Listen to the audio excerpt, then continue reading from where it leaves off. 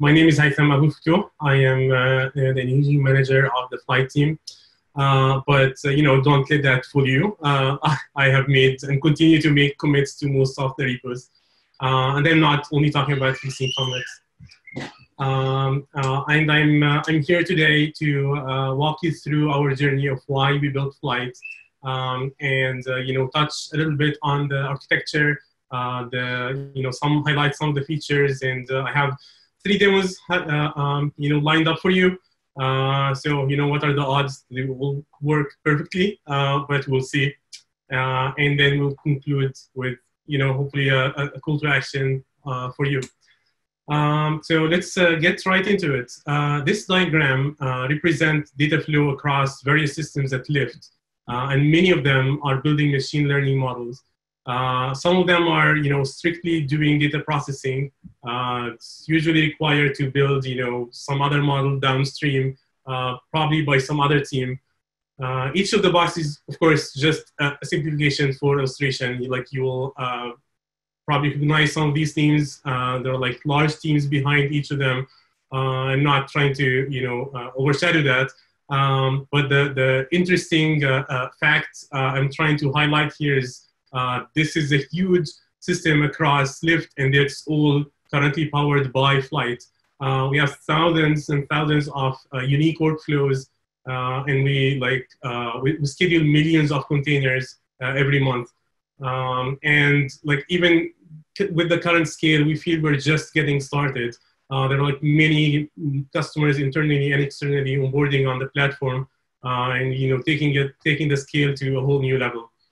Um, just uh, uh, like I wanted to highlight what where Flyte fits in, and we typically start talking about ML like your ML code, uh, and you know your choice of a framework, a TensorFlow or PyTorch, or you know no judgment there, um, uh, or you know what uh, algorithm to use, and so on and so forth. Uh, but I wanted to highlight that when we when we talk about taking a, a, a model and deploying it in production, uh, there are a lot more things we, we have to consider. Um, and those are usually not ML problems, they are more of distributed systems problems uh, that enable your code to run you know, at scale, uh, run reliably, repeatedly, uh, and produce predictable results uh, every time. Um, and to zoom in a little bit on, on the, the, one of the use cases where Flyte fits in, uh, in uh, in the highlight of uh, you know uh, a typical life cycle of an ML developing an ML model, uh, you don't start from you know writing the code uh, that does the machine learning, right? You start from way you know the bottom left corner here where you have data coming into the system into like your company or whatever, and there are like different types of data you you ingest. Um, and and then you run some transformation on them, uh, you do some, you know, prep work, clean up, you know, delete like nil values and so on. Um, then you compute features on top of those. Uh, and those are, you know, usually reusable features across multiple models. Um, and that's when you then start writing your code or uh, discovering those features and writing uh, a model on top. Um, and you don't stop here, of course, right? You, uh, you then need some continuous monitoring, for you know both the data coming in, detect you know distribution, drifts in distribution, and so on. Um, and then of course uh, like a continuous you know feedback loop from uh, once you you ship the model to a, a scalable serving platform. Um, you you often need to run the same models over and over again uh, as maybe new data come in or as you change your code uh, for any of these steps. Um, and when that happens, uh, and like take my word for this. We, we have lived through this. Uh, you will really appreciate not having to, you know, hunt for uh, code that lives on somebody's laptop or, uh, you know, and so on uh, to, to retrain those models. Um, and uh, the, the highlight of this graph, and I'm not including all the icons for all the tools uh, that do these steps, but as it is, you, you see the graph is very colorful and it's full of logos of different systems uh, that do excellent work uh, where they fit in, right? Um, you have, you know, Spark doing great in, in like your MapReduce jobs um, and so on. uh, you have TensorFlow or PyTorch or, uh, or sklearn, like whatever you use, uh, doing great job at like the, the training phase. Um, and uh, because they are very different, they don't always, uh, they were not always designed with interop in mind. Um, so it's, it's sometimes very hard to uh, you know, take something uh, that you know you ran on a Spark job and then massage the data so that it fits in some other system uh, to then run a training job and feed that back and so on. And, and that's where Flyte comes in. Um, uh, Flyte offers uh, uh, production grade orchestration for data and ML. Can orchestrate code, containers, scripts, queries um, across all of these dis disparate systems. Um, and the, the key for how we do this is we, we, we offer a strongly typed uh, interface, a strongly typed language, um, and, uh, uh, and, definitions of declaration language that is language agnostic. Uh, we use protobufs. Um, so with having Flyte power, uh, like all of these pipelines enable you to uh, connect very seamlessly systems that were never meant to be connected, if I may say, uh, to uh, make these pipelines predictable and scale uh, scale to very large numbers and, volumes. Um, when we designed Flyte, there were a few tenants that we wanted to highlight or, or focus on. it's, a, it's a hosted orchestration platform. Um, and that takes away the need from uh, you know data scientists or engineers to figure out how to deploy an orchestration platform or how to run it reliably or do the DevOps for it. Uh, they only focus on what matters to them, their business logic for uh, how these boxes connect and what to do in each box. Um, it's, a, it's a fabric that connects you know, all of these open source technologies or not open source, as you will see later on, um, and it makes it extremely easy to deploy within your core infrastructure. Uh, we, we aim at simplifying your uh, like auditability for the workloads and share shareability between uh, you know tasks or common uh, common tasks that uh, maybe you know you have your central team in in, uh, in your company that develops common you know algorithms or common steps in this pipeline. you know um, maybe there's a common task to split data fairly, right? And or or to detect bias and things like that. Uh, so you can share those across different projects. You don't have to rewrite, constantly rewrite things uh, or worry about dependencies. Uh, does it, you know, or conflict of dependencies and, uh, and dependency resolution. Um, it's, uh, it's built with observability in mind. So once you ship a pipeline to production, it doesn't end there, right? Uh, you want to know that it's constantly running. When it doesn't run on the scheduled time and so on, you want to be notified.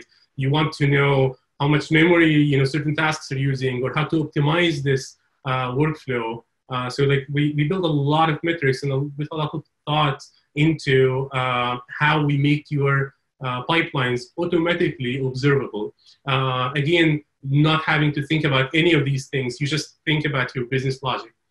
Um, and, uh, and lastly, as a system, the system itself, it's the same team that built Flyte in Lyft that also hosts Flyte. Uh, so it runs the DevOps for Flyte, and that forced us uh, to also think about uh, how to do DevOps for the platform itself um, very well, uh, very efficiently. Uh, so the system itself is very observable. Um, we, we have, it's auditable. You know who ran which workflows, when, and what data it accessed, and all of that. Uh, you know what the current load in the system is and what is it spending time doing.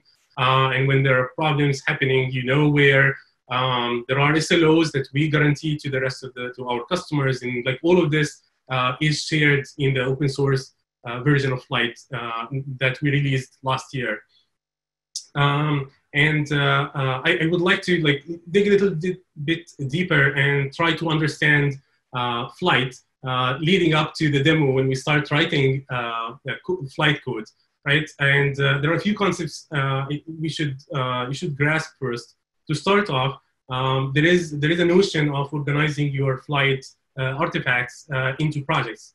Uh, so this is the top level entity in the system. Um, we you can think of projects as maybe your map for teams um, in a company, or you can have one team owning multiple projects and so on. It's up to you for how to do this partitioning, but it's a, it's a unit to organize your things, uh, your pipelines and tasks. Um, and then within those projects, uh, there are domains that your Flyte admin uh, can define. They apply to all projects. Um, in, in Lyft, we have the default, default uh, Flyte deployment. You get development, staging, and production, and you can think of those as deployment rings to your own pipelines, right? So you start off uh, with a new workflow or a task in the developing domain. You iterate on it, uh, you know, fix bugs and try different things, try different uh, interfaces, different inputs, outputs, and so on. And when you are happy with what you have, uh, you move it to staging and production, and that signals to like, you know, the rest of your colleagues and so on that it's it's ready for people to use. Um, uh, and then we have uh, uh, within those domains, as I said, you have workflows and tasks that you can define and and you can share them across different projects and so on. Uh, so you can have one project, you know, you know, common tools for ML, for example, right? Uh, where you write all those tasks that people can use, and then specific teams have their own projects, and they can just pull in those tasks to use. Uh, and it's very easy to search for the tasks and workflows, and there's description, and you know the UI we'll get to in a minute uh, offers you like tools around this. Um, uh, the, the, tasks and workflows yeah, like uh, worth probably digging it uh, digging into a bit deeper uh, because this is the fundament these are the fundamental building blocks for for your pipelines and each task represents an indivisible unit of computation uh, from Flyte point of view. Uh, so you can think of them as maybe it's a single container that runs and does something, or a query that runs in BigQuery or a Presto query and so on, just like a SQL query.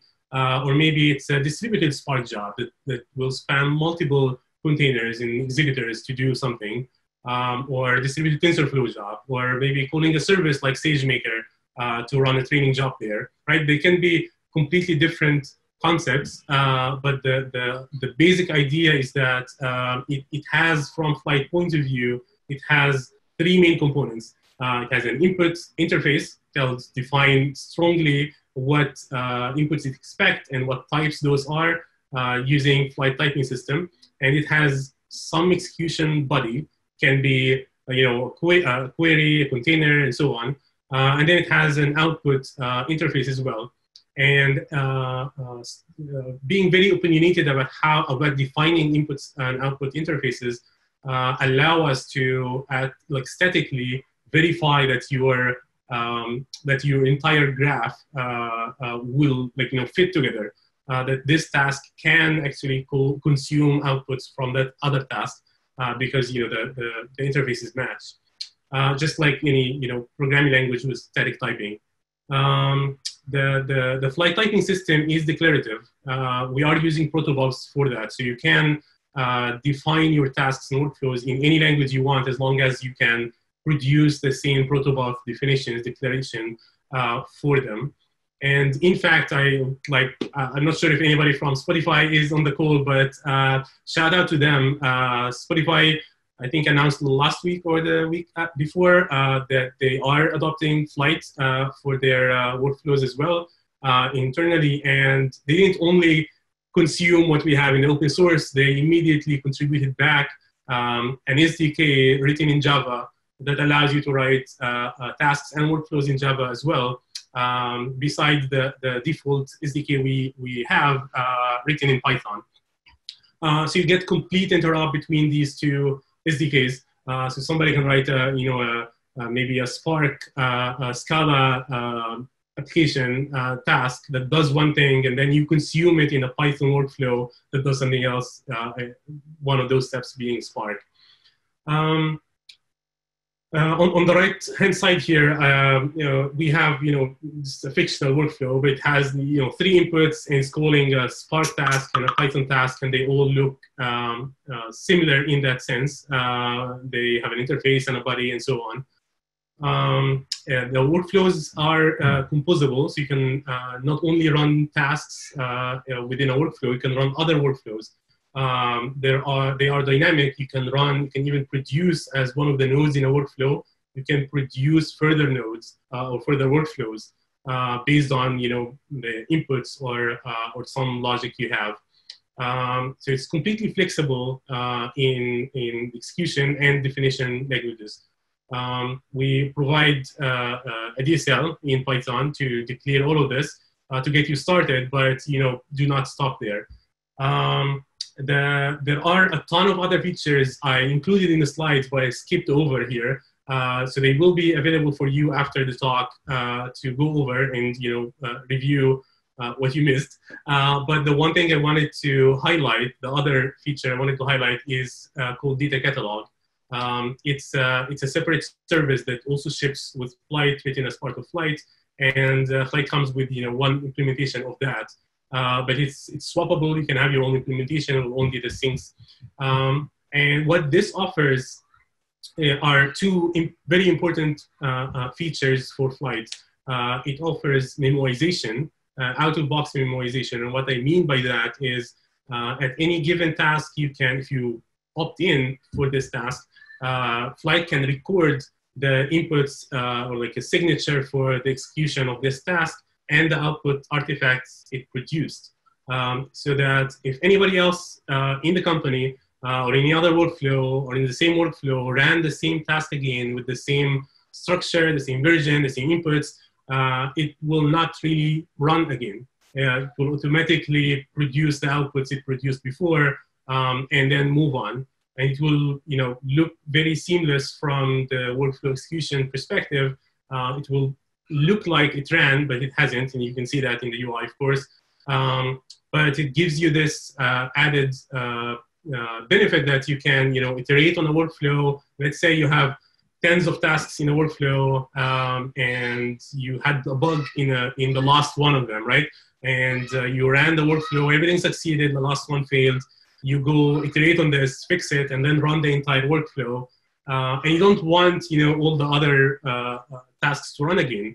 Um, so with this, it will, like everything will look like it ran it, but it will not and then the last one that failed before will run and keep going. Um, the other important feature is lineage, and because it is tracking all of the, um, the, the, inputs and what artifacts are used where, uh, you can uh, build this tree or like lineage tree uh, for any artifact. You start from you know, very like a leaf node artifact and tell me which workflow produced that, and then from that workflow tell me which artifacts it produced, it's consumed, and where they're coming from, and so on and so forth. Um, so the the you know the ML lifecycle I showed, you can look at like the very right corner with a with a produced model, and then track all the way to uh, the data tables that uh, end up produce this, or the versions of those data tables that end up produce this model across the system, across teams, and so on.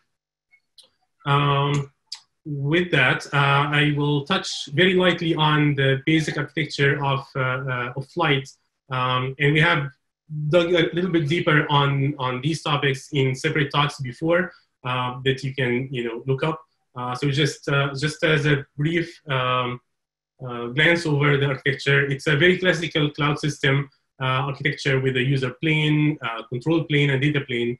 Um, what we what, what, forms our control plane is some is a service called Flyte admin and the console being the UI service. Uh, together they form this control plane that uh, uh, that you know that users interact with, and then they decide where executions happen. They track the entities in the system and so on.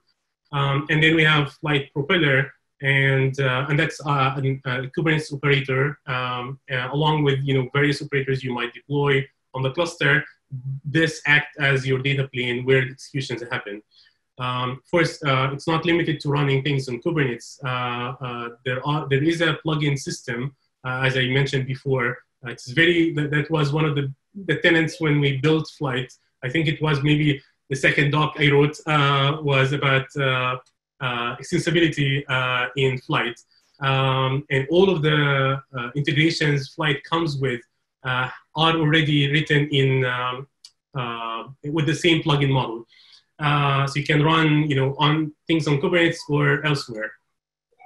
Uh, and with this architecture, we, we uh, have run and continue to run huge number of workflows uh, on Flyte within Lyft. this chart is, I think, goes over a year It's already a month old. Uh, but with this, you can see we already doubled. It shows the number of workflows we have daily.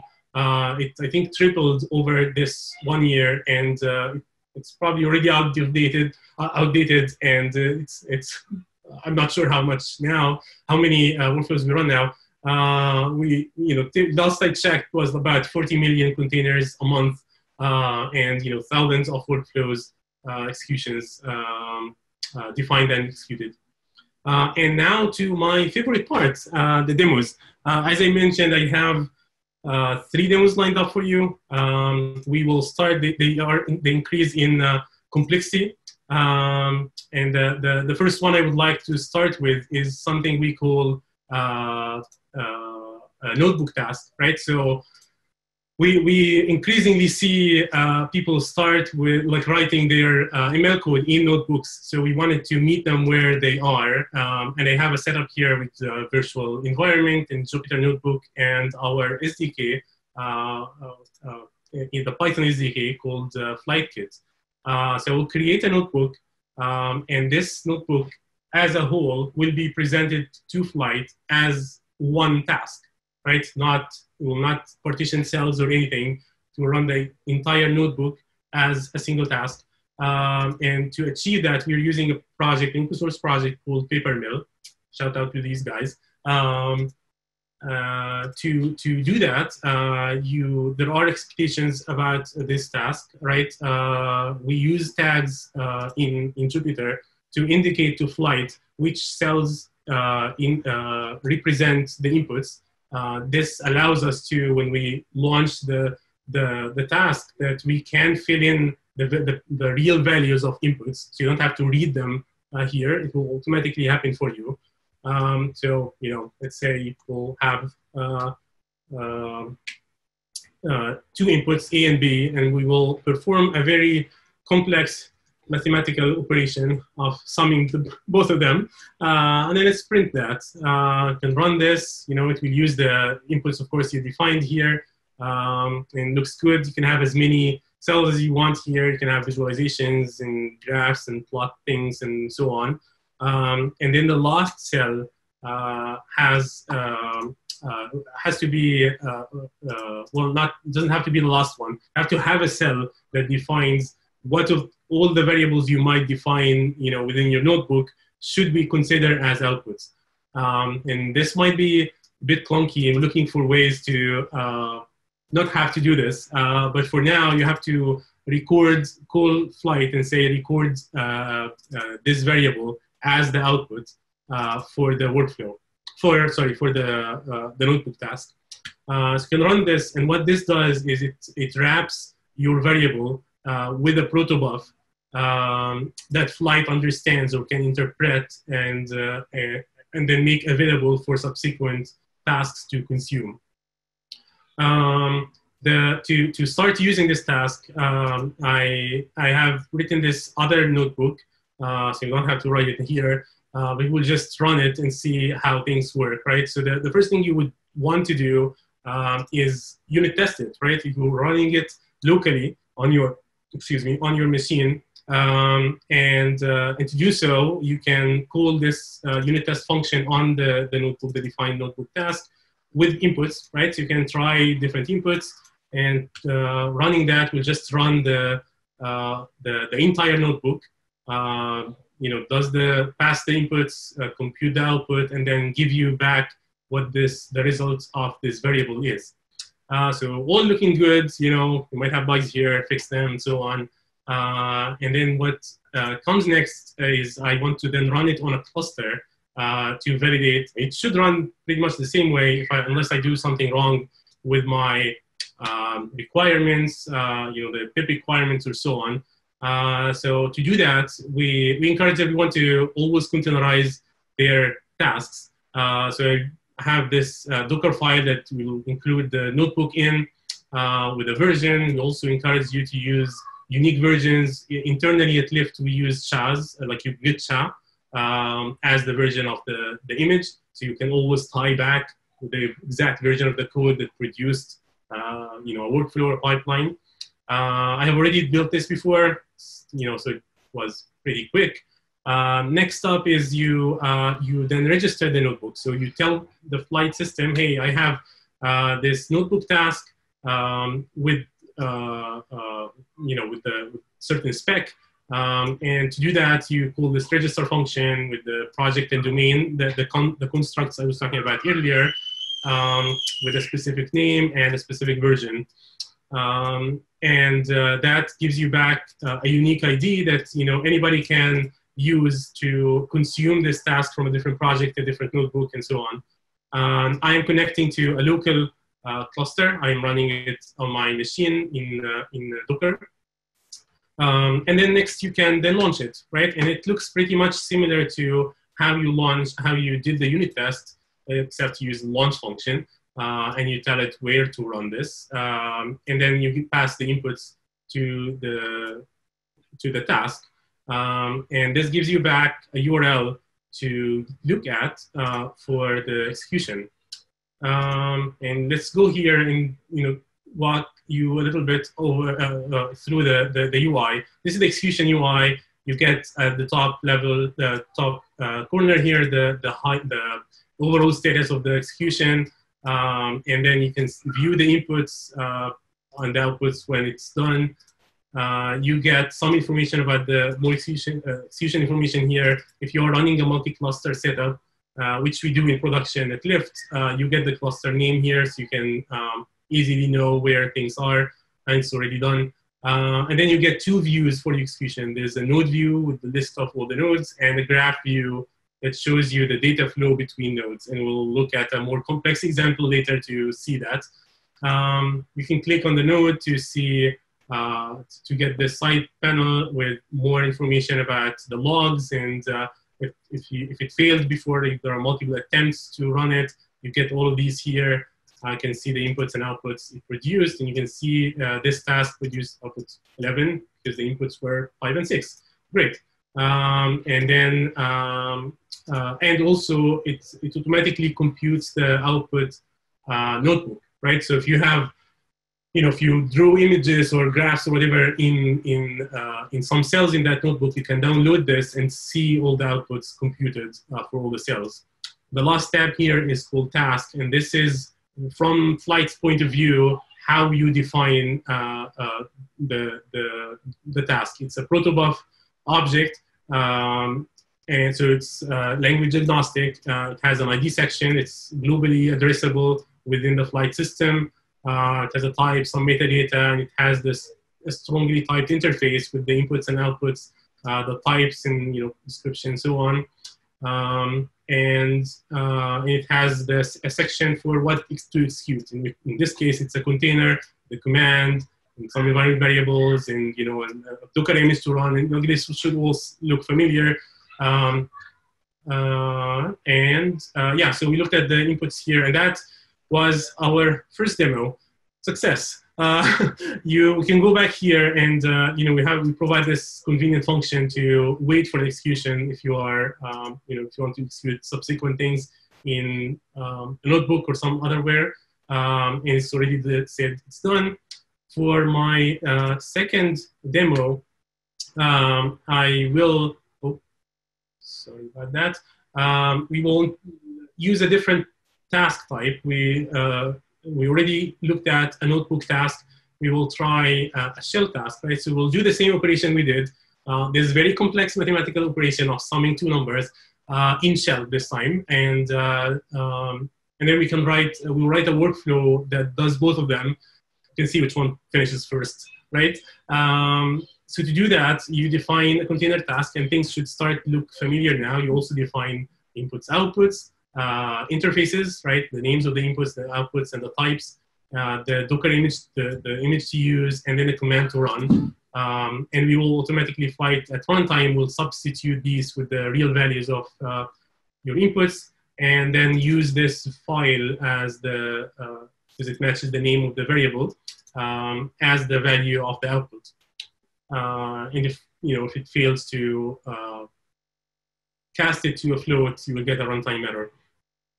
Uh, and then to define a workflow, we uh, uh, you write a class, a Python class, uh, with this annotation, and, and it will also look familiar here because you define inputs and outputs, types, and then the body is like the, the, the, the set of attributes or nodes to execute to, um, to produce this output. Uh, in this case, I am running uh, the shell task and the interactive Python task with the passing the inputs, um, and then pointing uh, the outputs as uh, the outputs of these tasks. Uh, and we can launch it from here, but I thought we launch it from the UI to see how that looks like. Uh, so this is the homepage you get when you have a Flyte installation. It lists all the projects, you can search for them. You get the domains and login. I don't have login enabled in my local setup, um, I registered this workflow in Flytesnacks, right? So I can go there and you get the view of the project with the with two uh, panels for workflows and tasks. Uh, I only have this one workflow registered. You can click on that and you get a view of all the past executions for workflow. You can filter and so on, and you can launch that. Um, you get you can pick the version. Um, you know, I have like two versions registered, and it automatically picks the last one um, we can run, uh, can give inputs and, uh, and execute this workflow, takes you to the uh, execution page, um, right? It looks similar now uh, with both of them. And if you look at the graph here, they are running in parallel uh, because there is no dependency between the two tasks. They're both consuming the inputs from the workflow. Um, and you get, uh, so this already started with logs and so on. Uh, this one is still waiting. Uh, when they're done, you will get view with like success uh, for these five seconds, and this is a minute. And that's is only because uh, this ran first, um, and on my local machine I don't have capacity to run both of them in parallel. so this waited, um, so it took longer. with that, and that is my second demo. Um, and for third demo, be really quick. I will not try to run anything. We'll just uh, walk through it. Um, a more real example of, uh, uh, of a training workflow. Uh, in this example, I have a graph that uh, runs the uh, Presto tasks to pull in data and then convert the data from Parquet format to CSV then run the uh, run a training algorithm um, in uh, in SageMaker in Amazon uh, AWS SageMaker, um, and then produce the output being the model, right? And you get links here for um, uh, you know to access uh, SageMaker and monitor your job in the platform as it's running. Uh, you can see the logs and so on while things are happening. Um, and to do all of this, I wrote this. this all happened again on a notebook. Uh, and we'll make all of these notebooks available um, in, in a, a Flytesnacks uh, uh, repo um, with you know more documentation about how things work. for this, I wrote a Presto task, and again, things should look familiar. There are inputs, uh, in this case they're empty, and I have a query, um, and I register the task, and I have another task that, that gets the you know validation data from a different table, of course, in real time, in real examples, this will not be the case. You will pull all the data and have some split function, uh, but just for, to, for simplicity's sake. Uh, and then for the, the conversion to, uh, from Parquet to CSV, I am using a task, you know, somebody else wrote. I am also, I'm just fetching it. Uh, so you need to know the, the unique ID for this task, the project domain is defined and the name and the version of this. So you're kind of pinning to this version uh, of the task. Uh, and from this point on, you can use it just like any other task you define yourself. Um, and then for the training, the training task step, uh, we define a SageMaker task uh, that you know we wrote as part of integration with SageMaker. Um, you create the training task, and I we created a, a hyperparameter tuning on top of that training task, uh, and then registering that.